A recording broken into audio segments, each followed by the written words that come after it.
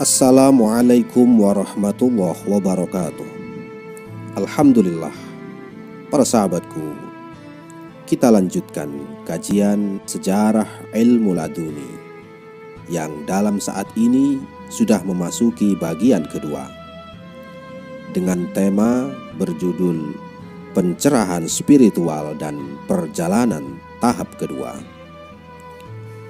Para sahabatku, para teman-temanku yang dirahmati oleh Allah Subhanahu wa taala.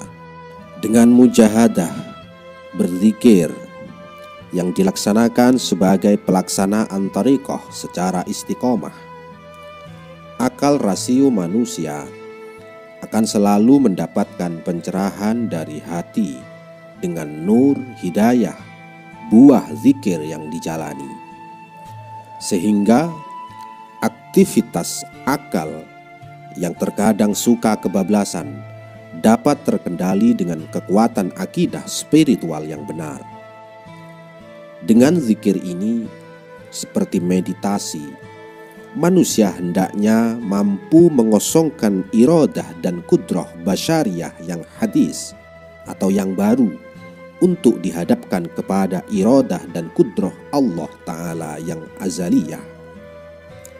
Maksudnya, obsesi, rencana, dan kemampuan diri untuk mengatur kehidupan ke depan, baik urusan dunia maupun urusan akhirat, saat itu dengan kekuatan zikir yang dilaksanakan dilepas sementara dari bilik akal, dihadapkan dan diserahkan kepada perencanaan Allah bagi setiap hambanya sejak zaman azali serta kepada kemampuannya yang maha kuasa untuk memberikan solusi dan pertolongan kepada hambanya. Ketika dengan pelaksanaan meditasi islami tersebut, rasio berhasil dikosongkan dari kemampuan secara basyariah. Terlebih, apabila pengosongan itu adalah buah syukur yang diekspresikan di dalam bacaan zikir yang masuk setelah pengosongan itu, diharapkan rahasia bacaan zikir yang dilakukan. Rahasia yang terkandung di dalam kalimat La ilaha illallah Tidak ada Tuhan selain Allah yang dilafatkan berkali-kali Hal tersebut merupakan ilham dan inspirasi spontan di dalam hati yang akan mampu memberikan solusi bagi setiap kesulitan yang dihadapi. Itulah rahasia nubuah yang dahulu diberikan kepada para nabi kemudian menjadi wilayah ketika diwariskan kepada hamba-hamba Allah yang saleh. Sejatinya adalah wahyu yang disampaikan dan tidak ada bagi seorang manusia pun bahwa Allah berkata-kata dengan dia kecuali dengan perantaraan wahyu. Quran surah 45 ayat 51. Ketika rahasia nubuah itu telah meresap di dalam hati spiritual, seperti air yang mengalir dari cabang-cabang anak sungai ketika keluar dari muara. Kemudian air itu melebur di dalam samudra yang tidak terbatas. Maka yang asalnya kotor seketika menjadi bersih, yang najis menjadi suci. Seperti itulah pencerahan akal dari rahasia zikir, sehingga hati yang asalnya susah langsung menjadi gembira orang-orang yang beriman dan hati mereka menjadi tentram dengan mengingat Allah. Ingatlah, hanya dengan mengingati Allah lah hati menjadi tentram. Surah Ar-Ra'du ayat 28. Dengan itu, manusia tidak sekedar menjadi pintar saja, tapi juga cerdas.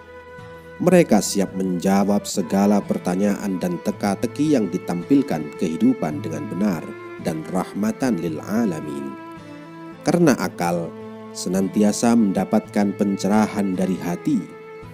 Itulah hasil perpaduan antara zikir dan fikir.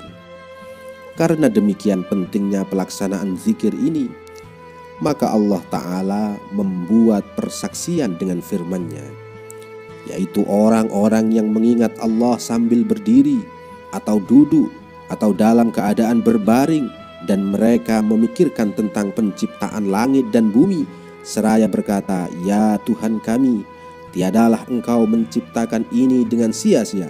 Maha suci Engkau, maka peliharalah kami dari siksa neraka." Ali Imran ayat 191. Para sahabatku, kita lanjutkan kembali ke dalam ayat firman Allah.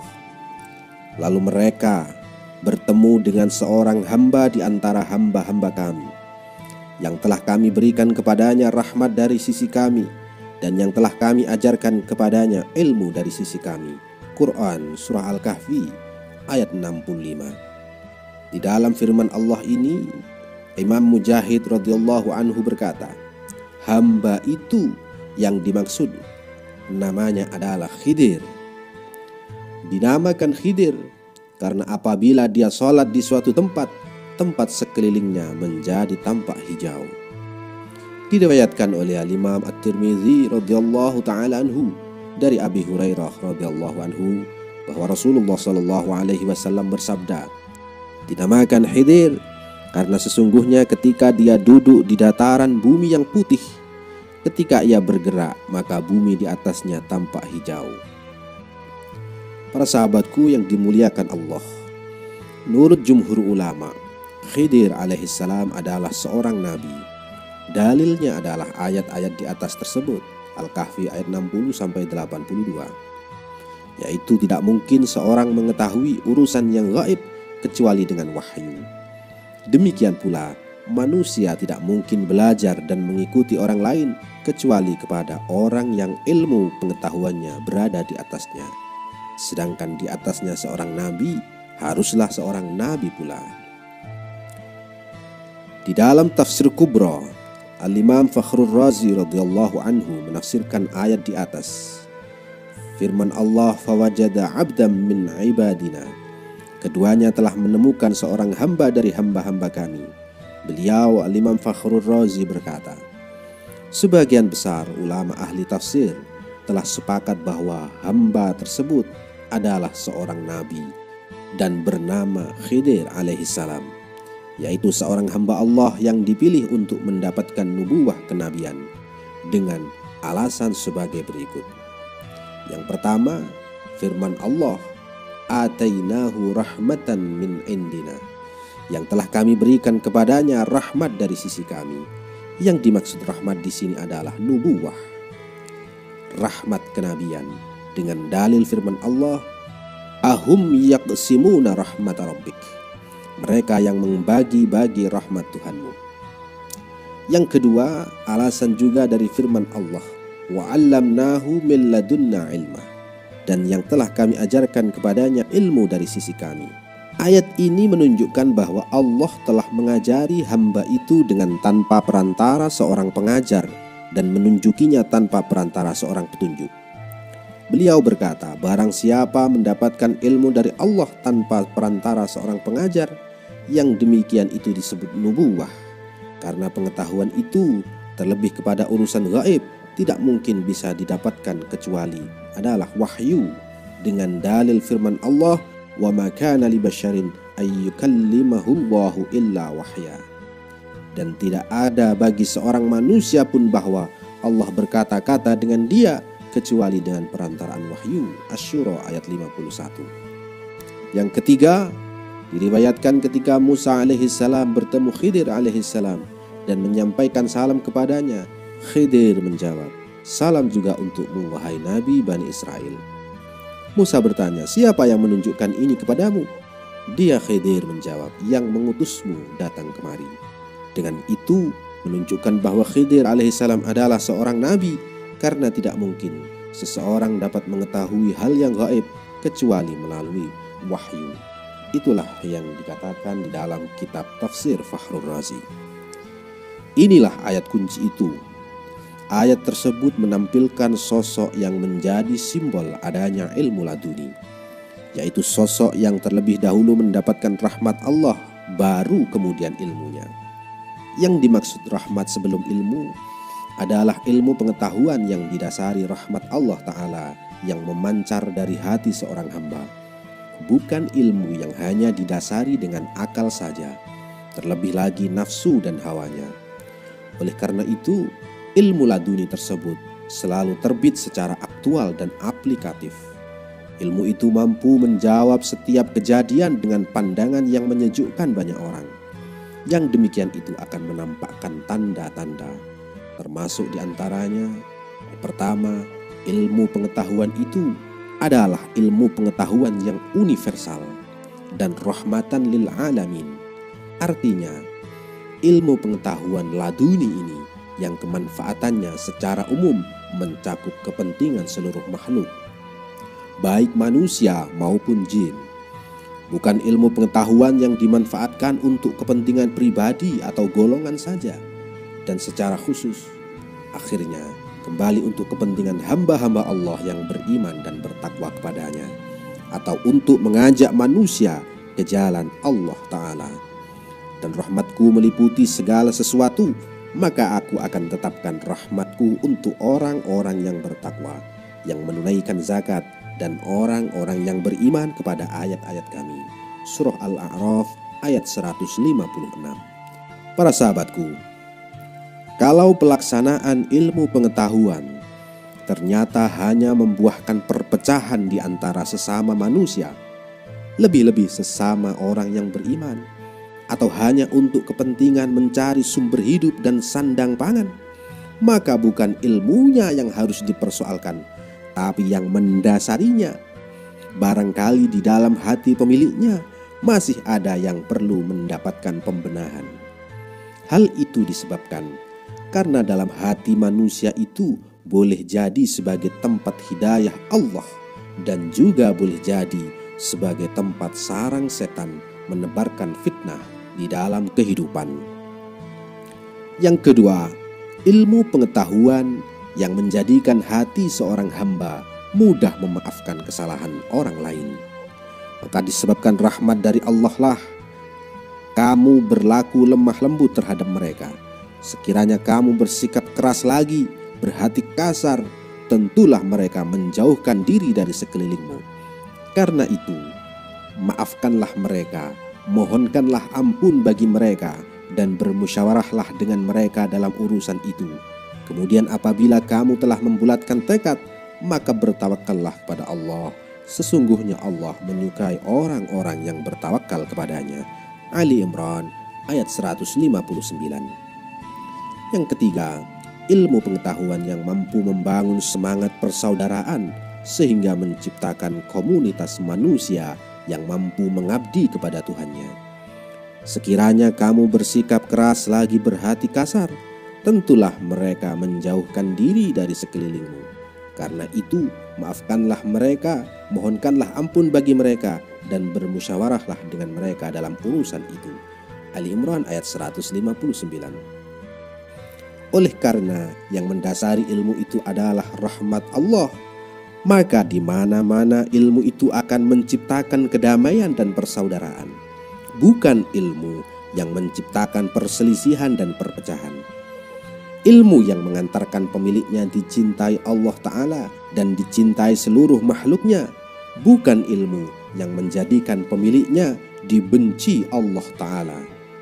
Kalau orang yang dibenci manusia karena suatu hal Tetapi dia juga dicintai manusia karena hal lain Lebih-lebih bila pihak yang mencintai lebih besar daripada pihak yang membenci di dalam kehidupan dunia Yang demikian itu wajar terjadi Sebab tidak mungkin orang dicintai orang lain kecuali terlebih dahulu terbit dari dibenci.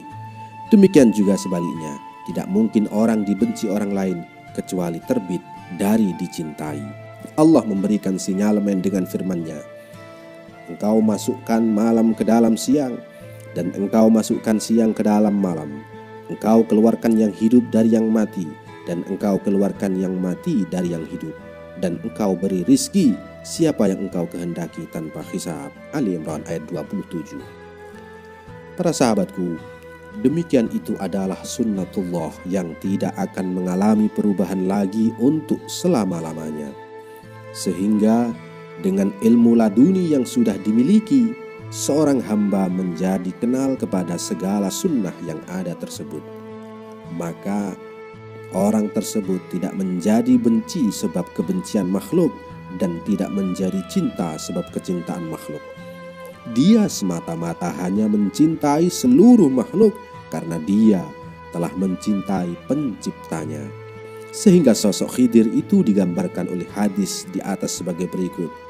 Dinamakan Khidir karena sesungguhnya ketika dia duduk di daratan bumi yang putih, ketika ia bergerak, maka bumi di atasnya tampak hijau. Para sahabatku, walhasil dengan ilmu laduni, seorang hamba akan mendapatkan penerimaan yang baik. Baik oleh seluruh makhluk di muka bumi karena kecintaannya telah membuahkan cinta pula maupun oleh Allah Ta'ala di dunia dan di akhirat. Karena pengabdiannya telah mendapatkan penerimaan yang baik di sisinya dengan itu akhirnya orang tersebut akan mendapatkan pungkasan hidup yang baik husnul khotimah yang akhirnya akan mengantarkan dirinya mendapatkan ridho Allah Ta'ala dan bahagia untuk selama-lamanya di surga insya Allah. Kita teruskan ayat. Musa berkata kepada Khidir, Bolehkah aku mengikutimu supaya kamu mengajarkan kepadaku ilmu yang benar di antara ilmu-ilmu yang telah diajarkan kepadamu? Dia Khidir menjawab, Sesungguhnya kamu sekali-kali tidak akan sanggup bersabar bersamaku dan bagaimana kamu dapat sabar atas sesuatu yang kamu belum mempunyai pengetahuan yang cukup tentang hal itu. Musa berkata, "Insya Allah, kamu akan mendapati aku sebagai orang yang sabar, dan aku tidak akan menentangmu dalam sesuatu urusan pun."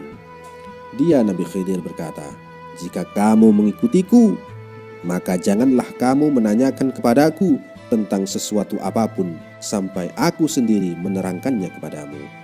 Surah Al-Kahfi ayat 65 sampai 70. Para sahabatku, kita teruskan ke dalam bab perjalanan tahap kedua. Perjalanan tahap kedua adalah usaha seorang murid untuk membangun komitmen mubayaah kepada guru mursyidnya. Seorang murid harus mampu melaksanakan apa-apa yang sudah disepakati dengan guru mursyidnya. Itu adalah hal yang wajib dikerjakan berkaitan dengan janji bayat yang sudah dilaksanakan. Pelaksanaan bayat seperti itu juga dilakukan oleh Rasulullah Shallallahu Alaihi Wasallam terhadap para sahabatnya sebagai janji setia untuk mengikuti beliau. Bahwasanya orang-orang yang berjanji setia kepadamu, sesungguhnya mereka berjanji setia kepada Allah. Tangan Allah di atas tangan mereka, maka barang siapa yang melanggar janjinya, niscaya akibat ia melanggar janji itu akan menimpa dirinya sendiri dan barang siapa menepati janjinya kepada Allah maka Allah akan memberinya pahala yang besar. Surah Al-Fat ayat 10. Para sahabatku, janji seorang murid di hadapan guru mursyidnya hanyalah pelaksanaan syariat secara lahir. Sedangkan secara hakikat, saat itu sesungguhnya dia sedang berjanji kepada Allah Ta'ala dengan saksi guru mursyidnya. Yang seperti itu juga dilaksanakan Nabi Musa alaihissalam kepada Nabi Khidir alaihissalam. Perjanjian itu dilaksanakan saat mereka berdua akan memulai perjalanan sejarah tersebut.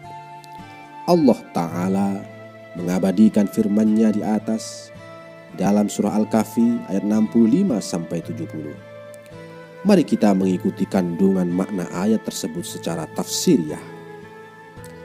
Yang pertama, Nabi Musa telah melaksanakan beberapa tata cara pelaksanaan akhlakul karimah sebagai seorang murid kepada Nabi Khidir alaihissalam sebagai guru mursyidnya.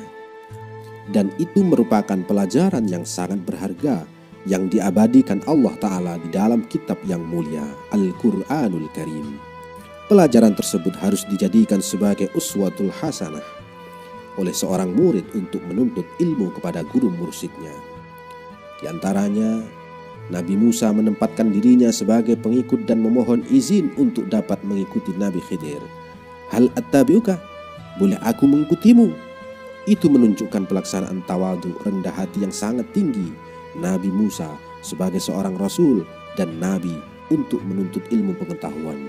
Beliau tidak segan-segan merendahkan diri untuk menjadi pengikut guru mursyidnya Nabi Khidir alaihi salam. Ketika pelaksanaan akhlakul karimah tersebut ditampilkan Allah Ta'ala di dalam kitab suci Al-Quran, berarti yang demikian itu menjadi suatu keharusan yang harus mampu diikuti oleh umat Muhammad Sallallahu Alaihi Wasallam sebagai syarat dan tata cara menuntut ilmu pengetahuan dengan benar. Nabi Musa berkata, "Ala antu alimani supaya engkau mengajariku ilmu." Sebuah pernyataan dan pengakuan terhadap kebodohan diri atas kealiman seorang guru yang diikuti adalah syarat mutlak untuk sampainya ilmu seorang guru kepada seorang murid. Seorang murid harus merasa lebih bodoh dari gurunya. Yang demikian itu seperti mengosongkan gelas supaya air yang dituangkan dapat masuk ke dalamnya. Nabi Musa lanjut berkata, "Mimma ulimta." Sebagian dari apa yang sudah diajarkan kepadamu ini juga menunjukkan pelaksanaan tingkat tawadu yang tinggi. Seakan-akan Nabi Musa berkata, Aku tidak mengharapkan engkau menjadikan aku sama alimnya dengan dirimu. Akan tetapi yang aku harapkan darimu hanya sebagian dari ilmumu. Permintaan itu layaknya seperti permintaan si fakir kepada orang kaya akan sebagian kecil hartanya. Sebagai bentuk pengagungan seorang murid kepada gurunya, Murid tidak boleh berkeinginan mengungguli ilmu gurunya, baik perasaan dalam hati maupun yang terekspresikan melalui ucapan dan perbuatan. Yang demikian juga, oleh karena ilmu tidaklah seperti air ketika dituangkan ke tempat lain menjadi berkurang, tetapi seperti cahaya. Betapapun diserap orang banyak, selamanya ilmu itu tidak akan menjadi habis, bahkan bertambah.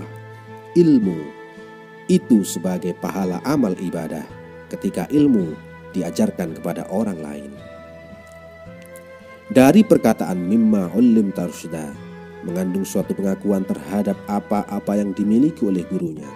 Seakan-akan Nabi Musa berkata, mimma 'allamakallahu syai'an astarshidu bihi fi amri ilmin nafi'in wa amalin salih.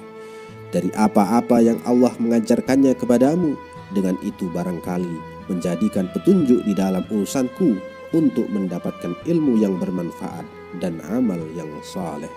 Dan ini mengandung pengakuan akan tingkat kualitas ilmu-ilmu yang dimiliki gurunya dan menunjukkan kebutuhan dirinya akan kemanfaatan ilmu tersebut. Yang demikian itu menjadikan hati seorang guru tersanjung. Nabi Musa berkata, Hal attabi'uka ala antu tu'allimani Bolehkah aku mengikutimu supaya kamu mengajarkan kepadaku ilmu? Pertama, mengikuti dan yang kedua mempelajari merupakan kewajiban yang pertama bagi seorang murid adalah mengabdi kepada guru mursyidnya, baru kemudian mencari ilmu darinya. Ketika hati seorang guru merasa senang dengan pengabdian seorang murid kepadanya, maka bagaikan air hujan yang diturunkan dari langit – ilmu laduni itu akan memancar terus-menerus ke dalam hati muridnya. Ilmu laduni tersebut bisa ditransfer melalui doa dan munajat gurunya setiap saat. Walau si murid tidak pernah diajari ilmu secara langsung oleh gurunya. Allah telah menurunkan air hujan dari langit, maka mengalirlah air di lembah-lembah menurut ukurannya. Demikianlah Allah membuat perumpamaan-perumpamaan. Surah Ar-Ra'du ayat 17 bagaikan lembah-lembah. Hati seorang murid akan menerima pancaran doa-doa ilmu laduni guru mursyidnya sesuai kemampuan hati itu menampung ilmu yang dipancarkan secara ruhaniah. Firman Allah, bagaimana kamu dapat sabar atas sesuatu yang kamu belum mempunyai pengetahuan yang cukup tentang hal itu? Ini menunjukkan sangat tidak mungkin bagi seseorang untuk berbuat sabar sebelum terlebih dahulu ia mengetahui secara pasti akan hikmah dan rahasia musibah yang sedang dihadapinya, walau ia telah memberikan kesanggupan yang kuat untuk bersabar. Di antara syarat seorang murid mendapatkan ilmu dari gurunya adalah sabar terhadap yang diperbuat oleh seorang guru sebagai tahapan ujian-ujian yang harus dijalani kepada dirinya. Ketika di ayat ini, sabar dikaitkan dengan rahasia di balik kejadian yang dihadapi Berarti hakikat sabar itu adalah cemerlangnya mata hati, sehingga sorotnya mampu menembus hal gaib yang ada di balik kejadian lahir. Oleh karena tidak ada yang mengetahui yang gaib kecuali Allah, maka jalan mencapai kesabaran itu hanyalah memohon pertolongan kepada Allah. Dan mintalah pertolongan kepada Allah dengan sabar dan mengerjakan sholat. Sesungguhnya yang demikian itu sungguh berat kecuali bagi orang-orang yang khusyuk. Surah Al-Baqarah ayat 45. Yang ketiga di dalam firman Allah, "Walamma a'si laka amra." Dan aku tidak akan menentangmu dalam sesuatu apa pun. Ini menunjukkan bahwa kesabaran seorang murid Nabi Musa menghadapi ujian-ujian yang diberikan seorang guru adalah hal yang wajib dilakukan yang akan menentukan keberhasilannya dalam menuntut ilmu. Karena bagi yang menentang akan mendapatkan siksa. Dan barang siapa mendurhakai Allah dan Rasulnya, sesungguhnya baginya neraka jahanam. Artinya, ketidaksabaran itu adalah termasuk bentuk perbuatan durhaka. Yang keempat, firman Allah, "Fa'init taba'tani fala an syai'in hatta ukhditsa laka minhu dzikra." Jika kamu mengikutiku, maka janganlah kamu menanyakan sesuatu kepadaku sampai aku sendiri menerangkannya kepadamu. Atau kamu jangan meminta diterangkan rahasia-rahasia di balik ujian itu sebelum aku sendiri yang memberitahukan kepadamu. Di saat seorang murid menjalani tes ujian di sekolah saja, murid itu dilarang nyontek kepada temannya, apalagi bertanya kepada guru tentang jawaban materi tes tersebut. Yang demikian itu berarti tujuan ujian menjadi gagal dan bila guru itu menjawab berarti guru itu telah mengkhianati fungsinya sebagai penguji. Terlebih lagi, untuk menghadapi ujian hidup di lapangan, seorang murid harus mampu memecahkan persoalan yang dihadapinya sendiri. Mereka harus mampu memadukan ayat yang tersurat dengan ayat yang tersirat, juga menyikapi kesulitan hidup sebagai tantangan dengan didukung husnuzon, berbaik sangka yang kuat, penalaran seorang murid akan menjadi tumbuh dan berkembang dari dalam hatinya sendiri. Itu merupakan bentuk latihan yang efektif, terlebih ketika yang demikian itu terjadi berulang kali. Hasilnya akan dapat mengasah akal dan fikir manusia menjadi cerdas. Demikian pula Nabi Musa alaihissalam. Ketika masa ujian itu tiba, beliau dilarang bertanya sesuatu kepada Nabi Khidir alaihissalam. Maksudnya, karena apabila aku Khidir yang menjawab, maka jawabannya hanya satu, hanya seperti yang aku sampaikan kepadamu. Akan tetapi ketika kamu diam sambil akalmu berpikir mencari tahu jawabannya melalui pengembaraan akal dan fikir dengan disertai prasangka yang baik serta berharap mendapat petunjuk dari Allah, maka boleh jadi jawabannya menjadi berkembang Jawaban itu akan menjadi bagaikan tambang inspirasi yang tidak akan habis-habis. Barangkali itulah yang dimaksud dengan istilah diam itu emas. Seakan-akan sang guru berkata, ketika kamu melihat sesuatu hal yang belum kamu pahami, jadikanlah akal dan fikirmu sebagai pintu masuknya ilmu, bukan di telingamu. Sedangkan bagi telingamu, gunakanlah pintu sabar sampai ia mendapat bagiannya sendiri dari Allah Subhanahu wa taala melalui ilhamnya. Sebagian dikutip dari tafsir Fahrul Razi. Para sahabatku, demikian dulu kajian sejarah ilmu laduni bagian kedua dan akan kita lanjutkan ke episode mendatang tentang perjalanan tahap ketiga. Semoga bermanfaat. Wallahu a'lam bishawab. Wassalamualaikum warahmatullahi wabarakatuh.